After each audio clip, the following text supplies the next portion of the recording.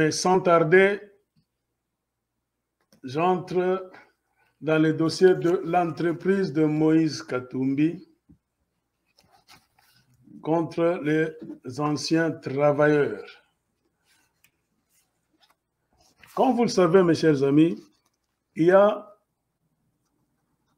un contentieux entre MCK et certains travailleurs que la dite entreprise MCK avait mis dehors sans le respect des normes ou bien règlements qui font à ce que ces travailleurs-là devaient se retrouver donc au chômage.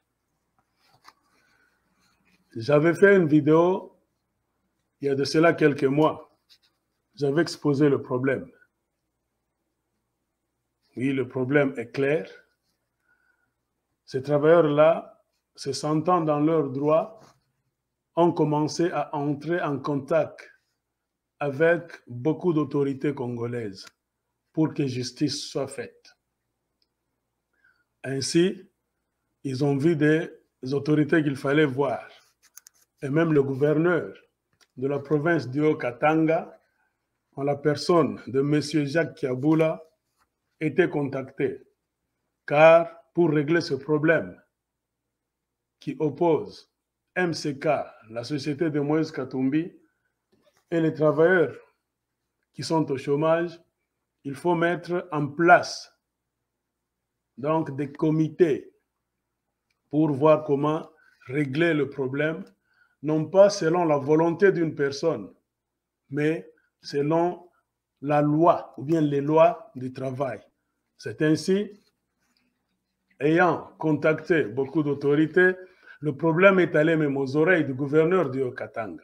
Comme je l'ai dit, M. Jacques Kiaboula, qui, le 19 juillet 2021, avait écrit une lettre ordonnant la création des commissions de médiation.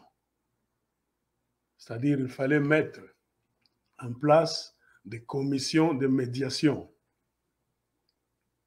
donc qui seraient composées des acteurs de la société, des bureaux, des syndicats de travailleurs, la justice, pour voir comment arranger ce problème à l'amiable. Mais depuis que le gouverneur Jacques Kiaboula avait écrit cette lettre le 19 juillet 2021, on a comme l'impression que les choses n'avancent pas. Les choses bloquent. Et ça bloque à quel niveau? Toujours au niveau du gouvernorat. Car le gouverneur lui-même semble ne pas bouger le petit doigt pour enclencher la machine afin que des commissions qui devaient être créées puissent vraiment se mettre à l'œuvre. Car le même gouverneur avait écrit à certaines entités pour leur dire qu'il était au courant du problème et que bientôt la chose allait se régler. C'est ainsi, au mois d'août, le 6 2021, donc il y a eu une lettre venant de l'intersyndicale du Grand Katanga qui, ayant briefé, ayant été briefé, informé que des comités allaient être mis en place, cette intersyndicale était contente et attendait que les autres autorités puissent s'apprêter afin que la machine soit mise en marche. Et dans le même ordre d'idées, il y a eu ce qu'eux-mêmes appellent la FEC, c'est-à-dire la Fédération des entreprises du Congo, qui a aussi écrit une lettre en date du 21 juillet 2021 2021. La FEC a accusé réception de la lettre du gouverneur disant qu'elle a délégué. Donc la FEC a informé aussi au gouverneur qu'elle avait déjà délégué un mandataire pour siéger dans la commission de médiation qui allait opposer les anciens travailleurs contre MCK, l'entreprise ou bien l'entrepreneur. Il y a aussi une autre lettre venant donc du tribunal de la paix de Lubumbashi à la Roche. Le tribunal aussi, répondant au gouverneur Jacques Kiaboula en date du 11 août 2021, a écrit qu'il était déjà prêt et qu'il avait déjà désigné un médiateur en la personne de M. Jean Petemoya Munaka, qui est le président du tribunal de la paix de Lubumbashi, donc euh, département de la commune de la Rouachi. Donc c'est pour vous dire que beaucoup d'institutions sont déjà prêtes. Et sans aussi tarder, il y a eu donc la commissaire à l'emploi en la personne de Madame Angélique Kyungu, qui aussi, en date du 6 octobre 2021, avait écrit une lettre aussi s'adressant à la division de l'inspection du travail pour régler le problème. Donc, recommandant à ce que la division de l'inspection du travail puisse faire tout ce qui était, ou bien tout ce qui est en son pouvoir, pour voir comment régler ce problème de la délégation syndicale. La délégation que MCK, c'est-à-dire Moïse Katumbi, a rejetée. Puisqu'on ne peut pas régler le problème des travailleurs en désordre. Les travailleurs doivent être représentés par un syndicat. Mais il s'est fait que de son retour de l'exil, Moïse Katumbi avait dissous le syndicat et ce qui a créé un grand désordre. Car on ne peut pas traiter, il a mis en place un autre syndicat. Et cela en violation de la loi qui dit que on ne pouvait jamais renouveler les syndicats donc cette année, donc l'année 2021, qu'il fallait attendre jusqu'en 2021. Donc, la commissaire à l'emploi a recommandé, comme je l'ai dit, à ce que la division de l'inspection du travail puisse vraiment respecter la loi. Donc c'est comme pour nous dire que le syndicat qui était en fonction au moment des faits doit être reconduit parce que c'est le syndicat en question qui connaît le problème.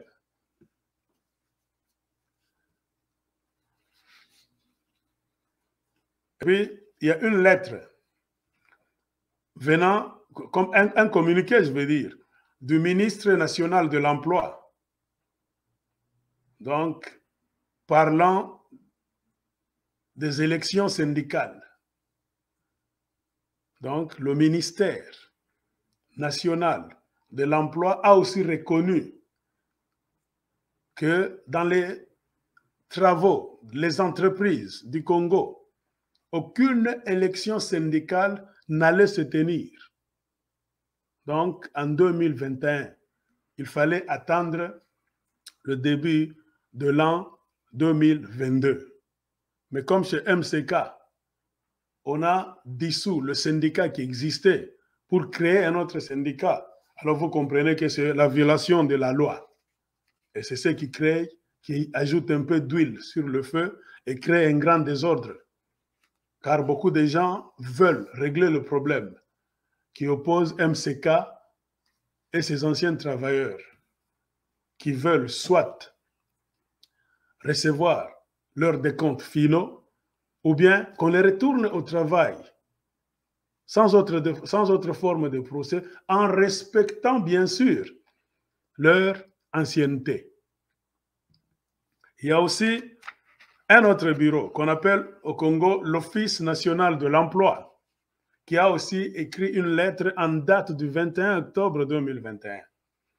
Cet office national de l'emploi a dit quoi? Cet office, d'abord, pour savoir le contenu de la lettre, nous devons savoir que cet office national de l'emploi a pour rôle de viser, donc d'accorder des contrats aux travailleurs. Mais pour le cas de MCK de Moïse Katumbi et les travailleurs qui sont au chômage, il y a un conflit. Donc, il y a un conflit entre MCK et ces travailleurs-là. Et que demandent les travailleurs de MCK qui sont au chômage, qu'on a renvoyés par Moïse Katumbi dès son retour de l'exil? Ces travailleurs demandent que MCK et même l'Office national de l'emploi puissent respecter la loi qui dit que on aime, doit tout faire pour empêcher à l'entreprise MCK de viser, de reconnaître les nouveaux contrats. MCK doit attendre jusqu'à ce que le litige qui l'oppose avec les travailleurs au chômage soit réglé. Ainsi, ceci permettra aux anciens travailleurs en conflit avec MCK de ne pas perdre leur ancienneté. Parce que MCK est en train de jouer un jeu.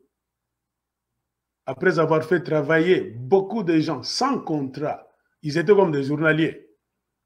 Et s'étant buté à un problème après le retour de Moïse Katumbi. Alors les travailleurs demandent leur, soit leur décompte finaux ou bien qu'on les retourne carrément au travail. Et voyant que le problème va peser sur lui, MCK maintenant veut brouiller les pistes en voulant donc donner, accorder des contrats à certains travailleurs qui, pendant tout ce temps, avaient travaillé sous la houlette de Moïse Katumbi et même de, du monsieur qui a pris l'entreprise en charge quand Moïse Katumbi était en exil. Donc les travailleurs demandent donc de vive voix à ce que l'Office national de l'emploi à Lubumbashi donc ne puisse pas accorder des contrats aux gens de MCK et surtout les gens qui ont des problèmes. Car ça va changer leur statut. Ça va brouiller beaucoup de problèmes et qui va faire à ce qu'on ne peut pas bien résoudre donc les litiges qui opposent MCK à ces travailleurs-là. Donc, l'ONEM, qui est le bureau donc l'Office national de l'emploi veut éviter ses responsabilités aussi. Il ne doit pas viser les contrats des travailleurs. Il ne doit pas accorder des contrats à, certains travailleurs. Il faut d'abord attendre. Et cette lettre, c'est donc ce message s'adresse à M. Gérard Kassongo Elunga de l'Office national de l'emploi. Donc, M. Kassongo, Ilunga, Gérard, vous êtes prié d'attendre à ce que le conflit entre MCK et les anciens travailleurs soit réglé. Ainsi, vous allez voir comment accorder des contrats à certains travailleurs selon la loi. Vouloir le faire tout de suite, ça montre que vous voulez jouer le jeu MCK, c'est-à-dire vous voulez brouiller les pistes. Donc, rendre encore très difficile choses. Mais selon les informations que nous avons reçues sur, sur terrain à Lubumbashi, le sujet bloque. Et qu'est-ce qui bloque? Et qui bloque cette histoire qui devait prendre fin depuis longtemps? C'est le gouverneur de la province de Okatanga, en la personne de M. Jacques Kaboula, comme je l'ai dit qui au plus grand début, le, 11, le 19 juillet 2021, avait bien reconnu le problème. avait reconnu qu'il y a un problème qui existe entre MCK et ses travailleurs. Il a même signé une ordonnance. Il a ordonné la création des commissions de médiation.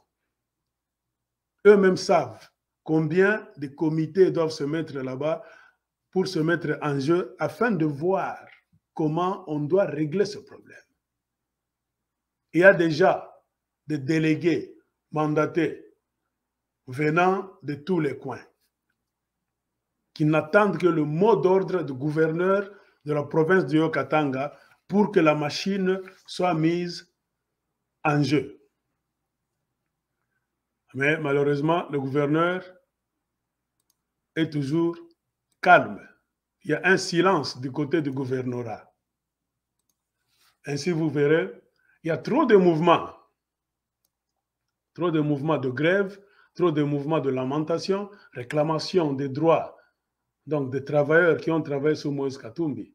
Je peux vous montrer, par exemple, certaines vidéos. Vous voyez comment les travailleurs, ça fait beaucoup de mois, plus de quatre mois, qu'ils battent le pavé, qu'ils marchent, qu'ils contactent les autorités afin que leurs problèmes soient traités. Regardez-moi ça. Vous connaissez ce qui s'est passé entre Moïse Bédérac et Pascal chômage. Il y a eu des procès, soi-disant des procès bidons. Mais aujourd'hui, quand Moïse a récupéré son entreprise, il a mis un bon nombre de personnes euh, sans motif. Donc, des plus de 260 personnes qui sont licenciées, ni notification, ni de code final, ni quoi que ce soit. Nous, nous sommes ici devant le gouvernorat pour manifester notre mécontentement euh, auprès de, de monsieur le gouverneur de Okatanga pour lui signifier qu'il puisse d'abord voir ce problème qui se passe au sein de l'entreprise de Moïse Kakoumi. Parce que lorsqu'il y a eu des procès entre M. Pascal Beberagi, on n'a pas parlé de Paul Kaponda, on n'a pas parlé de Michel, on n'a pas parlé de M. Jean-François, on a parlé de Moïse Katumbi et M. Beberagi. Aujourd'hui, Moïse Katumbi a récupéré son entreprise. Nous, nous sommes les engagés de Moïse Katumbi. Depuis 2009 jusqu'à présent, ça fait plus de, de 10 ans. Il y a ceux qui ont même de 15 ans, 20 ans. Mais regarde ceux qui nous ont remerciés. Soit disant qu'ils ne connaissent pas ce problème qui se passe au sein de son entreprise. Là, nous nous sommes, euh, sommes pas du tout d'accord. Si néanmoins il connaît ce qui se passe, il doit les. During the rain, he does to want, he does to know how the person are surviving. He does to know how the person are renting the house until today, four months now. We have to ask him, and uh, we are applying to our government, government and governor to put in his idea in this story, because the date which us will start working on the way, it will be very bad. You know, we know that our government is responsible for all the things, all the stuff which are happening here in Congo, in Lubumbashi. Moise Katumbi must pay all the person, all the workers, is finally account. The person are surviving in bad way and the person are passing in bad mood. We don't want a story, we don't want a problem, we don't want the blood of the person. And I know Moise Katumbi was been stealing the person there by Bell Equipment. He cancelled the contract with Bell Equipment so that he president wa assemblée. Leo kama president assemblée hata hivi tunamwona anatoka nenda hapa sasa. Alikuya tulijua kumpokelea ministre wa interieur ashukue wakuya. C'est-à-dire euh, president de la république depuis alikuya alimubeba wakati mwingi sana.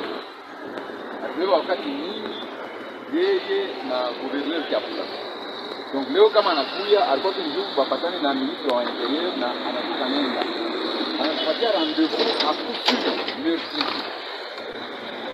Mercredi tunaandika na comment on appelle ça zo ndani ya demande ya audience donc mercredi na Alors là, vous voyez, ce sont les travailleurs qui continuent à se concerter.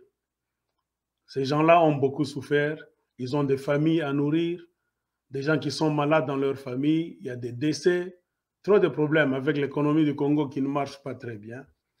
Mais ils font tout pour que leurs droits soient vraiment reconnus. par MCK, la société de Moïse Katumbi. Ils font tout. Ils ont déjà contacté le comité managérial de MCK qui est composé de ces gens. Regardez-moi. Ça, ce sont les gens qui font le comité managérial de MCK. Ils sont là. Quand vous les regardez, ces gens, les gens se plaignent que ce comité-là ne sait pas traiter avec les travailleurs. Ils ne savent pas comment dialoguer avec les travailleurs. Hmm? Quand vous les regardez, de la gauche vers la droite, il y a M. Paul Caponda, qui est directeur financier et administratif. Donc, après lui, il y a ce blanc-là, Kenneth, qui est l'associé de Moïse Katumbi. Après le blanc, à la gauche du blanc-là, il y a M. Jean-François Tchabala, qui est le directeur de ressources humaines, hein, DRH. Et à l'extrémité, donc à ma droite, ou bien à la gauche de ce monsieur-là, François Tchabala, le dernier homme s'appelle Claude Bouchiri, qui est le directeur de la logistique. Donc les gens se plaignent que cette équipe de gens, ce comité, ne sait pas traiter avec les travailleurs. Ils ne respectent pas les lois. Bon, moi, je comprends parfois, parce que vous savez, au Congo, d'abord, c'est un pays là où on respecte difficilement les lois. Hmm? Dans beaucoup de domaines. Le Congo, c'est un pays où on viole la loi comme si on respire. C'est vraiment difficile. Hmm? Très difficile si tu as un problème au Congo pour qu'on puisse le régler. Parce que le système national est pourri. Très pourri. C'est vraiment difficile. Et on nous signale qu'il y a trop de problèmes. Donc, à l'entreprise de Moïse Katumbi. Trop de problèmes non réglés. Il y a aussi même des problèmes de sécurité, par exemple. Les gens disent on se plaint souvent, mais on fait travailler les gens parfois dans des conditions qui ne sont pas tellement bien. Et au retour de Moïse Katumbi, il a trouvé que certains travailleurs étaient pris en charge par MCK pour les soins médicaux. Donc, c'est-à-dire l'ancien directeur qui faisait fonctionner la société MCK en l'absence de Moïse Katumbi, avait compris que ces travailleurs là-bas avaient des maladies qui étaient en relation avec le travail. C'est-à-dire, l'entreprise MCK prenait charge de certaines personnes. Mais quand Moïse Katumbi est venu, il a donc enlevé ces gens-là de la liste donc médicale et les autres avaient des accidents au travail, ils sont laissés maintenant à eux-mêmes. Donc regardez par exemple, je peux vous montrer. Regardez ce monsieur-là, un accidenté toujours de l'entreprise. Hmm. Il est là. L'autre est là a un pied cassé. Ce sont des gens qui ont des difficultés. Donc, à être traités, à être pris en charge par l'entreprise. Donc, si vous voulez, je peux continuer à vous montrer. Ils sont là. Regardez par exemple. Il est là.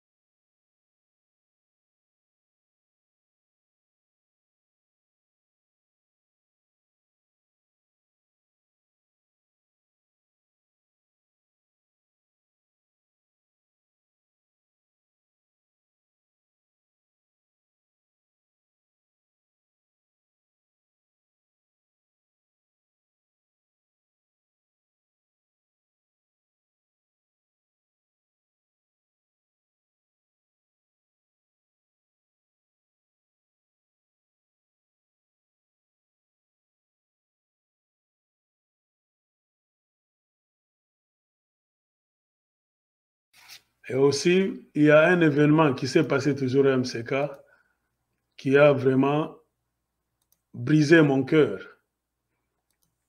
Il y a eu un accident ce 30 novembre 2021. Donc, il y a à peu près une semaine. Il y a eu un grave accident. Et en suivant donc l'information, les gens qui nous ont donné l'information sur notre table, qu'est-ce qu'ils nous ont dit? Donc, MCK travaille avec un système qui ne plaît pas à beaucoup de gens. C'est-à-dire, ils ont des mécaniciens et des pneumaticiens. Les pneumaticiens, ce sont des gens en charge de réparer les pneus ou bien de remplacer les pneus de ces gros engins-là. Mais dans la plupart des cas, vous allez voir que quand un pneu, un pneu d'un engin est endommagé, il n'y a plus d'autre moyen pour réfectionner ce pneu-là. C'est impossible. Mais ce fait qu'à MCK, on pousse les pneumaticiens à se débrouiller. Donc, pour voir comment rafistoler donc ces pneus-là. C'est ainsi un monsieur qui travaillait là-bas. Son nom, on m'a donné son nom. Il travaillait là-bas. Monsieur Nick Ndonji Marichi. Donc, toujours dans leur esprit là-bas, d'économiser, je ne sais pas, l'argent, de ne pas, donc, acheter beaucoup de nouveaux pneus pour mettre à leur monstre là-bas de la mine. Ils poussent les pneumaticiens à faire tout ce qu'ils peuvent pour même réparer des pneus là-bas qui sont déjà troués. C'est ainsi en pleine opération. Monsieur Nick Marici Ndonji a été surpris donc par un éclatement d'un gros pneu. Vous voyez, je ne sais pas si vous avez une image de ces gros engins-là. Pour nous qui avons vécu donc près des villes minières ou bien dans les villes minières, nous savons de quoi il est question. ces engins-là, c'est pour cela qu'on les appelle les monstres. Ils ont des gros pneus, même des jantes là-bas, des géants. Imaginez, le pneumaticien était en charge de réparer le gros pneu là-bas. Il a mis tout en place. Malheureusement, le pneu a éclaté. Et donc la jante, la grosse jante, donc est venue cogner l'homme qui travaillait. Le monsieur est mort dans la plus grande douleur. Si vous voulez avoir une idée, je vous mets l'image. Vous allez voir comment ce monsieur a beaucoup souffert.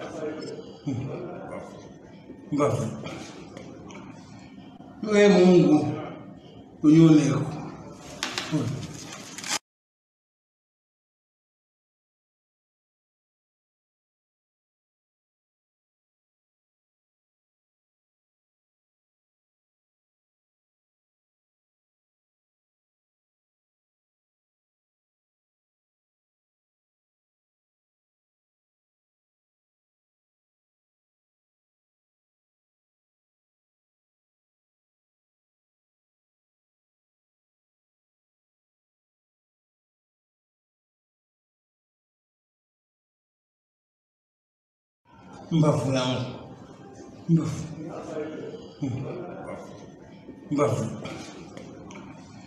n'o ye mun ko o y'o nɛgɛ ko.